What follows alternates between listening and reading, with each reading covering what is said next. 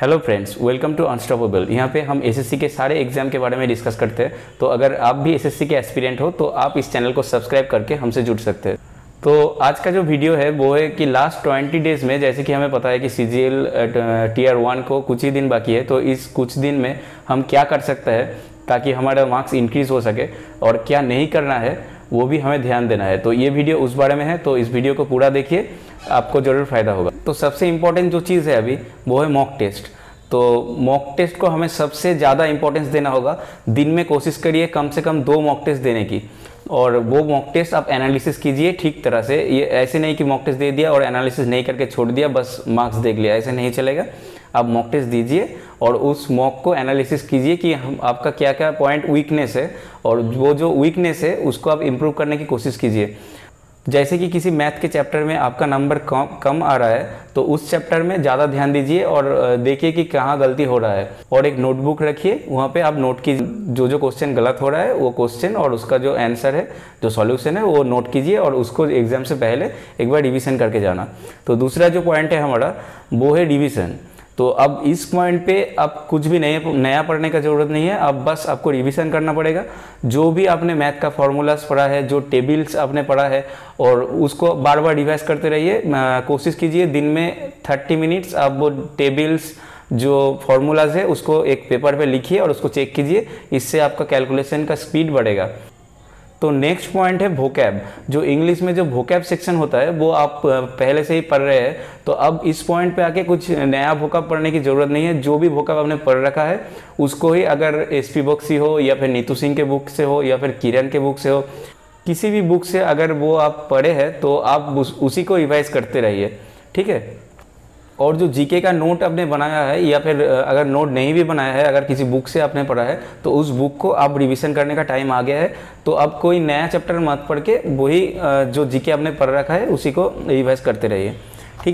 और हाँ जो करंट अफेयर्स है, वो अब सबसे ज़्यादा इम्पोर्टेंट है। अब जो आप करंट अफेयर्स पढ़ेंगे ना, वो आपको ज़रूर याद रहेगा।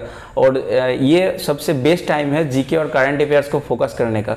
तो अब जीके और करंट अफेयर्स पे पूरा फोकस कीजिए। और सबसे ज़्यादा जो मोस्ट इंपॉर्टेंट टॉपिक है जीके और करंट अफेयर्स का, उसको लेके मैं एक और वीडियो ला रहा हूँ तो इस चैनल से जुड़े रहे और वो वीडियो आप ज़रूर देख लेना।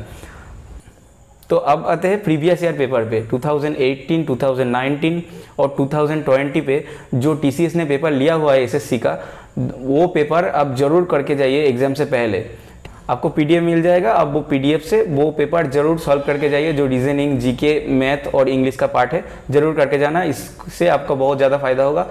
लगभग 70 परसेंट क्वेश्चन पूरा प्रीवियस ईयर से ही आता है तो प्रीवियस ईयर पे बहुत ज़्यादा ध्यान देना पड़ेगा इस टाइम पे ठीक है?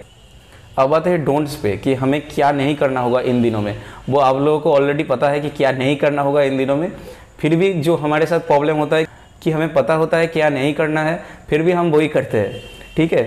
तो क्या नहीं करना है? उससे सबसे, उसमें सबसे फास्ट है सोशल मीडिया तो सोशल मीडिया से कोशिश कीजिए कि सोशल मीडिया से थोड़ी दूरियाँ बनाए रखने के लिए इन इन दिनों में। और कुछ दिन आपके हाथ में, अगर इन दिनों में आप, आपका हंड्रेड परसेंट नहीं देते हैं तो एग्ज़ाम से बाद आपको ज़रूर रिग्रेट होगा कि मैंने अगर उस टाइम पे अच्छा पढ़ लिया होता तो मेरा मार्क्स कुछ ज़्यादा ही इंक्रीज हो जाता।